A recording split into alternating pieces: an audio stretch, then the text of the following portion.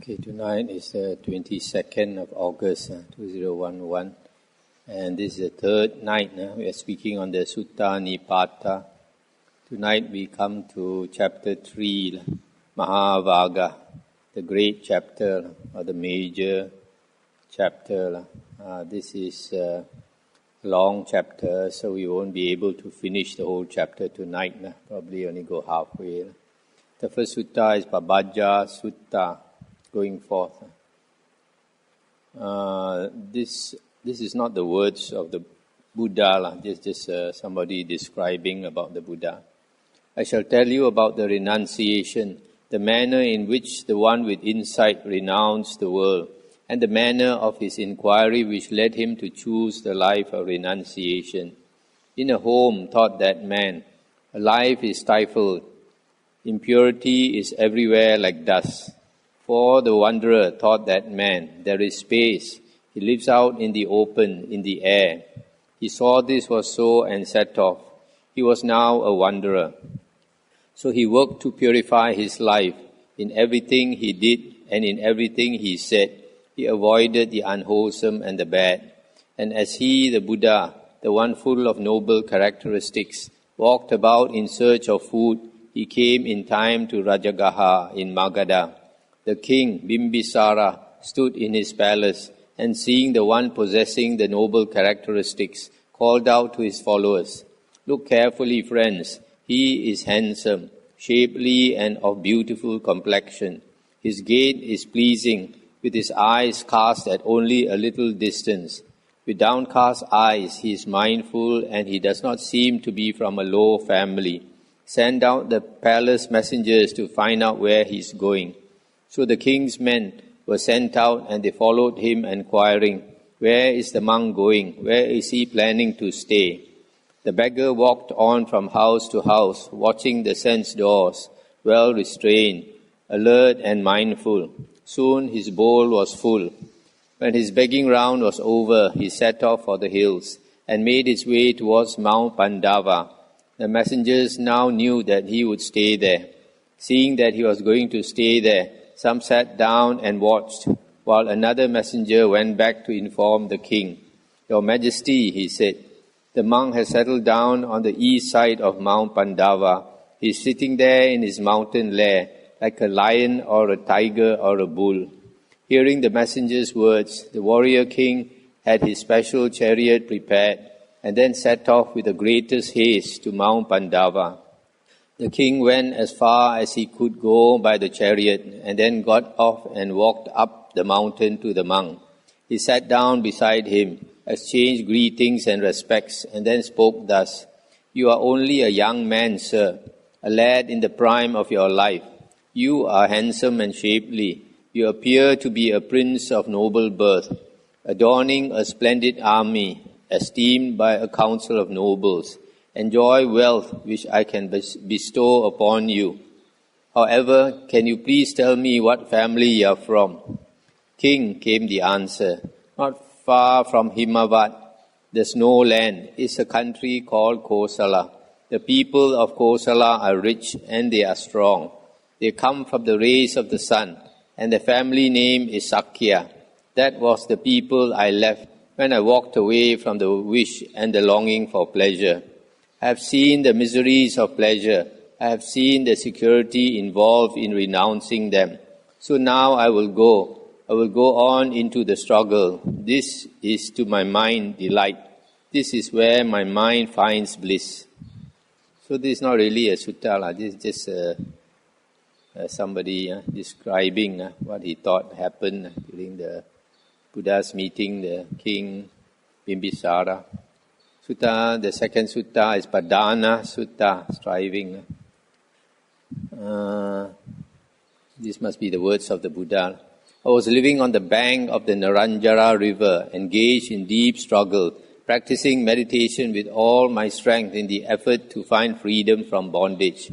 Mara came up to me and started talking to me in words appearing to be full of sympathy. You are so thin and pale, he said. Why, you are near to death. I'll bet a thousand to one you're going to die.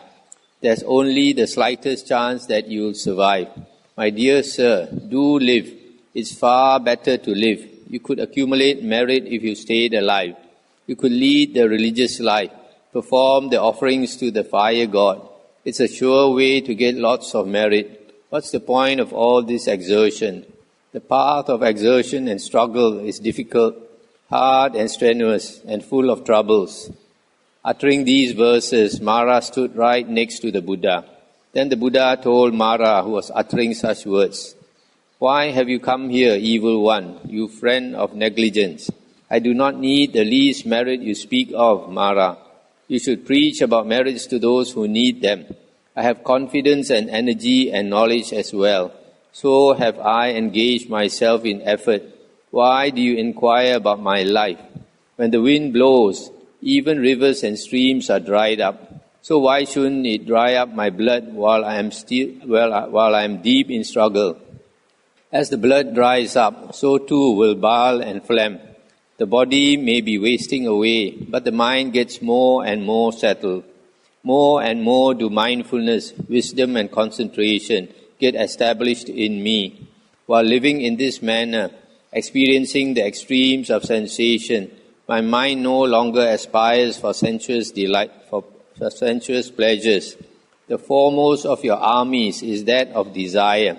The second is called dislike. The third is hunger, thirst and the fourth is craving. The fifth is the army of lethargy, laziness, and the sixth is fear. The seventh is doubt, and the eighth is obstinacy and restlessness. Then there are also material gain, praise, honor, and fame obtained by wrongful means. One may also think highly of oneself and disparage others. These, Mara, are your forces, the attackers of the evil one. One less than a hero will not be victorious over them and attain happiness. Look, do you see this strand of munja grass I am wearing? I do not care for life. I would rather die in this conflict than be alive but defeated. There are monks and hermits who have drowned in defilements and never see that path which the well conducted ones tread. I can see the troops all around me with Mara mounted on an elephant and I go forward into the struggle. Even though the whole world, inclusive of its gods, cannot beat that army of yours, I am going to destroy it with the power of wisdom, like an unfired clay pot with a stone. With disciplined thought and firmly grounded mindfulness, I shall travel from country to country, training numerous disciples. Alert and energetic in the practice of my teaching, contrary to your wish, they will attain that which having attained, they will not come to grief. And Mara said, I followed the Blessed One for seven years, and I've watched every step he's made, and not once have I had access to him, who's completely enlightened and mindful. I remember once seeing a crow hovering above a lump of fat on the ground below. Ah, food, it thought. But the lump turned out to be a rock, hard and inedible and the crew flew away, and the crow flew away disgusted. We have had enough. It's like that crow eating rock for us. We are going away. We are finished with Gotama. Mara was so upset by his failure that he dropped the loot he was carrying, and at the moment it fell to the ground, the evil-minded Yakkha disappeared. So Mara had been uh, trying to discourage the Buddha in his struggle, but I could not. Uh, determination is very important. Uh, if person's determination is very strong, uh, the Buddha said, uh, even devas cannot obstruct you. The next sutta is uh, 3.3, Subhasita Sutta. Uh, this is also found in Sangyutta Nikaya 8.5. Thus have I heard. Once when the Buddha was staying in the Jeta Grove near Savatthi, he said to his monks, Speech which has, which has four characteristics is speech well spoken, blameless, and not censured by the wise, namely the speech of a monk who speaks only what is wholesome or well spoken, and not what is unwholesome, who speaks only what is Dhamma and not what is non Dhamma, who speaks only what is pleasant and not what is unpleasant, who speaks only what is true or truthful, and not what is untruthful, Speech characterized by these four factors is well spoken, not ill spoken, blameless and not censured by the wise. That is what the Master said. And having said this, he went on as teacher to say this. Wholesome speech, the saints say, is foremost. One should speak what is Dhamma and not what is non-Dhamma. And this is the second. One should speak what is pleasant, not what is unpleasant. And this is the third. One should speak what is true or truthful, and not what is false. And this is the fourth. Then the monk called Vangisa got up from his seat and went up to the Buddha. He respectfully placed his robe over one shoulder and with his hands placed together asked the master for permission to speak. Having obtained it, he spoke these appropriate words of praise. Let us use words that do not cause us pain. Let us use words that do not hurt each other. Those truly are wholesome words. Let us use pleasant speech, where the words make people glad, not resorting to evil speech. Let us use pleasant speech on others. The words of truth are immortal. This is an eternal nature. As the old saying goes, words of truth cannot die. And good people, they say, are well grounded in truth, the goal, and Dhamma. And the words which the Buddha speaks, words that lead to blowing out, putting an end to suffering, are the worthiest words. this uh, disciple of the Buddha, Venerable Vangisa, is very good uh, at speaking inspired words. Uh. When he feels inspired, uh, he can say uh, very nice words. Uh, right at the moment, uh, it comes naturally. Uh, so in the uh, Sangyutta Nikaya, there's one whole uh, chapter on him, Vangisa. The next sutta is 3.4, Puralasa Sutta. It has another name uh, called Sundarika Bharadvaja Sutta. And it is also found in uh, Sangyutta Nikaya 7.9. But I think there it's a bit shorter. Thus have I heard. Once the Buddha was staying in Kosala on the bank of the river Sundarika. Nearby, a Brahmin called Sundarika Bharadvaja was busy performing sacred rituals and burning offerings on a fire. When the Brahmin had finished his rituals, he got up from his seat and looked around. Who shall I give the remains of my offerings to? he asked. Then not far away he noticed the Buddha sitting under a tree completely covered by his robe. So, with the offerings in one hand and the water jar in the other, the Brahmin walked over to the Buddha. As he heard the Brahmin's footsteps, the Buddha uncovered his head. Why, thought the Brahmin, this man's had his head shaved. He's nothing but a shaveling. And he thought of turning back. But then he thought, some of the Brahmins have also shaved their heads. I had better go and ask him what family he is from. Stop here for a moment. Huh? These Brahmins, uh, uh, I don't know whether you have seen uh, this Hare Krishna and all that. Uh, although most of their head is shaved, they have a little uh, hair at the back, uh, like a pigtail like that. Uh, so when they saw the Buddha was completely shaven, he knew that he was not a Brahmin. So he went up to the Buddha and said, What caste are you? or what birth are you? And the Buddha made his answer to the Brahmin. I am not a Brahmin, nor am I a prince or a farmer or anything else. I have come to understand clearly how worldly people are born or how castes have come about. Now I wander through the world as a wise man, without possessions, with nothing. I wear a double robe. I have shaved off my hair and I wander without a home, without the need to mix with people in this world, fully calmed. Your question about caste is irrelevant. But sir, said the Brahmin, when Brahmins meet, they always ask one another whether or not they are Brahmins.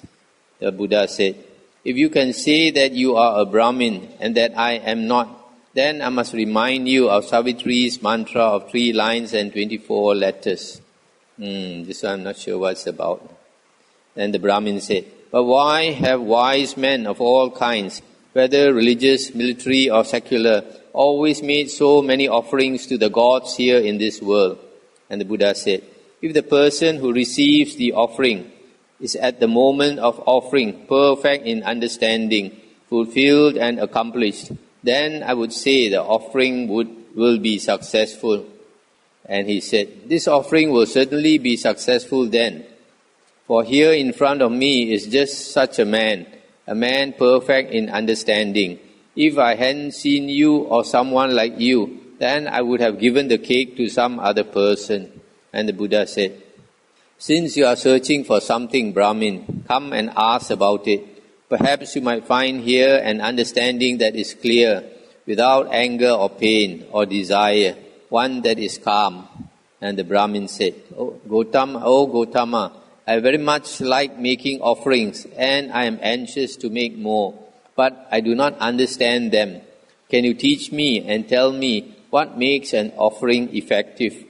The Buddha said, Listen carefully then, Brahmin, and I will teach you about it. Do not ask about caste, but ask about conduct.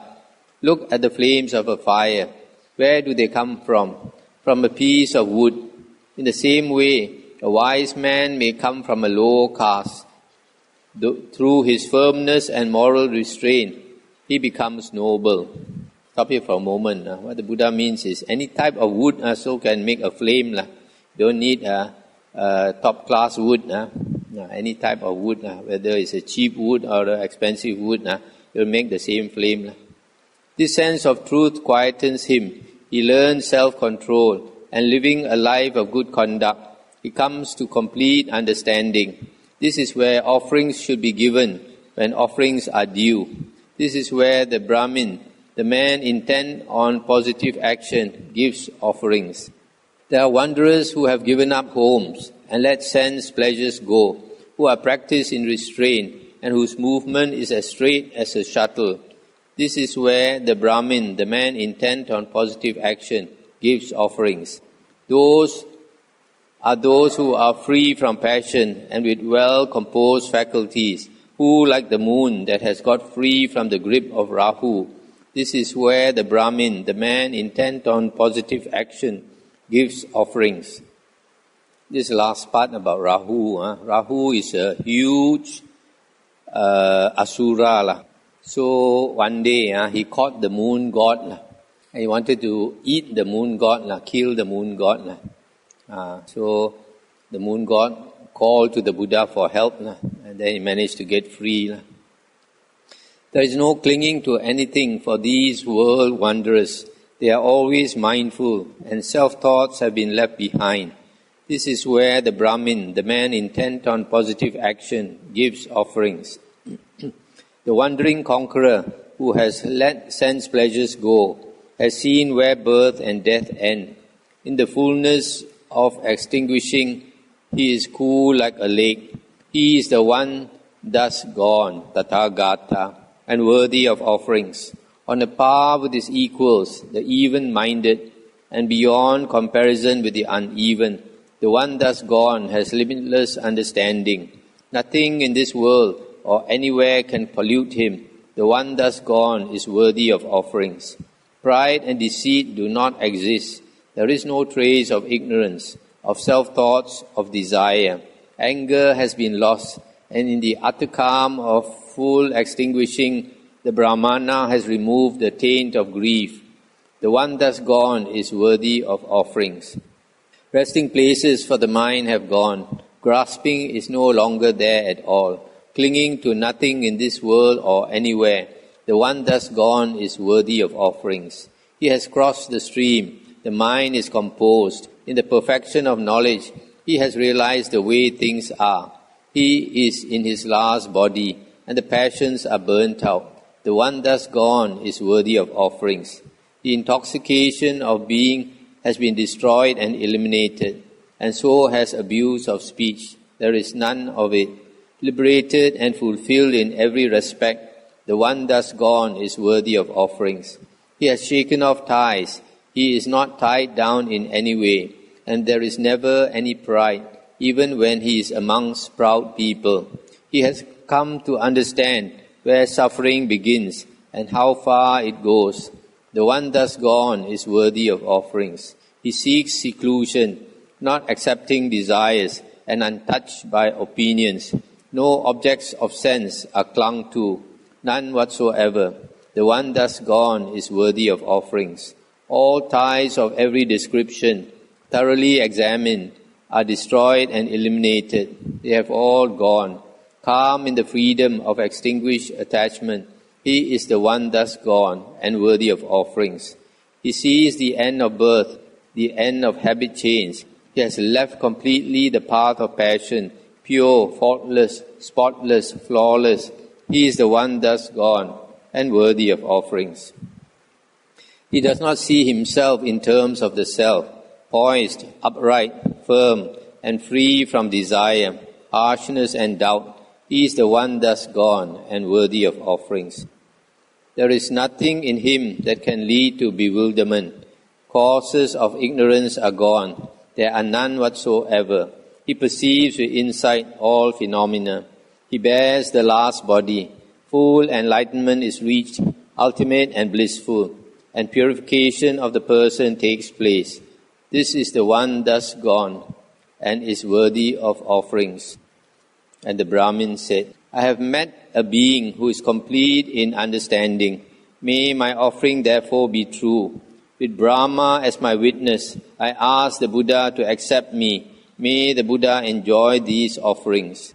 And the Buddha said, Now Brahmin, I do not accept gifts earned by chanting. This is not the way with people of clear knowledge. Enlightened beings reject what is earned by chanting. And while truth exists, this will always be the practice of the Buddhas. You may attend upon a great sage who is perfect, who is passion free, and who has calm anxiety with some other food and drink. That will be a field for the man intent on merit. And the Brahmin said, Very good, my lord, but I should like to know to whom people like me should offer gifts. Tell me in the light of your teaching whom I should look for when I am making sacrifices. And the Buddha said, Where there is no quarrel, where the mind is undisturbed, where there is freedom from lust, where lethargy is done away with, where passions are conquered, where birth and death are understood. Here is a man of wisdom, the Muni or sage. When a person like this is present at an offering, we should welcome him and honor him with food and drink without any trace of a frown. This is how a gift will be effective. And the Buddha said, Buddha, you are worthy of a gift, unsurpassable field of merit, and a recipient of sacrifice. What is given to your reverence is of immense fruit. Then Sundarika Bharadvaja said, It is amazing, Venerable Gotama. It is wonderful, Venerable Gotama. Just as if one might raise what has been overturned, or reveal what has been hidden or point out the way to him who has gone astray, or hold out a lamp in the dark, so that those who have eyes may see objects. So likewise has the truth been explained by the Venerable Gotama in various ways. Therefore, I take refuge in him, his Dhamma and his Sangha. I wish to enter the homeless life and to receive the higher ordination near the Venerable Gotama. Then Sundarik Sundarika Bharadvaja received ordination as a novice and received the higher ordination near the Buddha.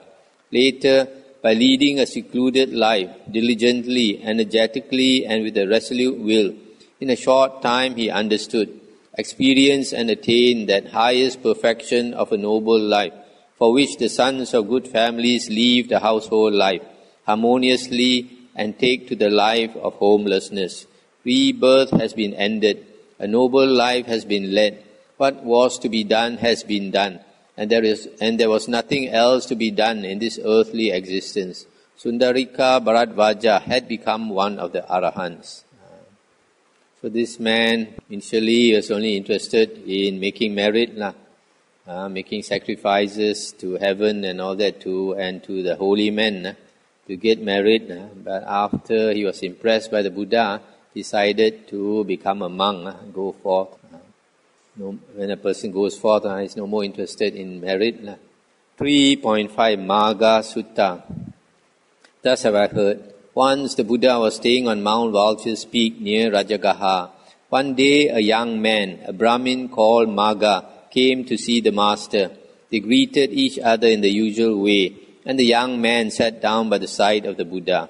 Gotama, sir, he said, I am a lay sponsor. I make donations, give financial support, presents, gifts, and such like. I am an, I am an approachable person and quite open to requests. The wealth I give away, I have made quite lawfully, and I distribute these lawful profits to one or two people, or sometimes to twenty or thirty people, or sometimes to a hundred or more. What I would like to know, sir, is whether it's worthwhile making all these gifts and offerings. Could you tell me if they produce merit for me? And the Buddha said, Young man, all these gifts and offerings you make are certainly worthwhile, and they do produce great merit. It is the same for any man who makes donations and gives support, who stays approachable and open to requests, and who shares his lawful profits amongst one or two, or twenty or thirty, or a hundred people or more. All these gifts will bring great merit to him. Then the young Brahmin asked another question, and this time he spoke in verse. Gotama, sir, he said, you are a yellow robed wanderer a man without a home. You are a man who knows meaningful speech. Could you please answer this question for me? If a layman who is a charitable person, one from whom a gift may be expected, makes an offering, desiring merit by giving food and drink to others, then offering to whom will his offering be pure? And the Buddha said, if this charitable layman is going to make an offering or donate food and drink, and if he needs and wants to make merit, then to make the offering successful, he must give it to someone who can receive a sacrifice. He must give it to someone who is gift worthy. Then the Brahmin asked the Buddha to tell him who these people were who could receive a sacrifice from charitable and well intentioned laymen. Which people, asked the Brahmin, are gift worthy? And the Master replied, there are people who wander around in this world without attachments, possessions, with nothing. They are whole and complete, and they have control of the self. When the time comes for giving, these are the people to give to. These are the people whom the well-intentioned Brahmin should give to. Those who have cut off the fetters and bonds, who are tamed, free, passionless and desireless. Those who are freed from all fetters, have tamed the wild and become free, free from the rage of passion and from desire. Getting rid of lust, hatred, and delusion, they have eradicated defilements and have perfected the religious life. There are people with no room for trickery or pride. They have no greed, no thoughts of I, no desire. They have gone across the ocean, for they did not fall prey to the thirst of craving and so now they can live and move around without thoughts of I. They do not have longings or yearnings for anything in the world. They have no longing to be something in this world, and no longing to be in any other world. They have given up pleasure that is sense based, and they have perfect and fine self control. They walk from one place to another without homes to return to, and they move with directness like a shuttle pulling thread through a loom. They are free from lust. Their senses are well composed. They are free, slip loose, like the moon easing free from the teeth of Rahu. They are quietened and calm, with no passions or anger. They are not going anywhere in this world. Once they die, they have given up rebirth. They have given up birth and death with no remainder, and they have gone beyond all doubt and uncertainty. They are islands unto themselves. They have nothing. They go from place to place, and in every way they are free. They know precisely what this sentence means. There will not be a rebirth, no more becoming. This is my last existence. In the enjoyment of meditation, in the fullness of knowledge, and in the strength of mindfulness, a person has full enlightenment and is a shelter for many. When the time comes for giving gifts, this is the person to give to. This is the person whom the well-intentioned Brahmin gives to. Master, said Magha, my question has certainly brought full rewards for me. You have explained to me what give worthy means, and who these people are, for you know it as it really is. You have seen this in accordance with fact. But tell me one thing, Master. When a charitable and well intentioned layman makes an offering or gives away food and drink, how should he do it to make the offering successful? And the Buddha said, Make your offering Magha, as you make it be pleased in mind. Make your mind completely calm and contented. Focus and fill the offering mind with the giving. From this secure position, you can be free from ill will. If you have no rush of passions and can get rid of ill will, and if you develop the mind of boundless loving kindness with constant care and alertness, night and day, then the loving kindness will spread infinitely in each direction. O Master, said Magha, tell me who can be pure, who can be free, who can be enlightened. How do you get to the Brahma world on your own? O Master of wisdom, please tell me the answers. O Master, you yourself can witness that today I have seen Brahma, for you are the same as Brahma to us. It's true. O Master, shining light, please tell me how a man can get to the Brahma world. And the Buddha said, Magha, I will say this to you. When the third, when the third or the three of the three qualities of perfect giving is completed by giving to a gift worthy person, then Magha, the completed act of giving itself, takes the giver the man whose practice is giving into the world of Brahma. Then Magha, the young Brahmin, spoke in praise of the Master. It is amazing, Venerable Gotama. It is wonderful, Venerable Gotama.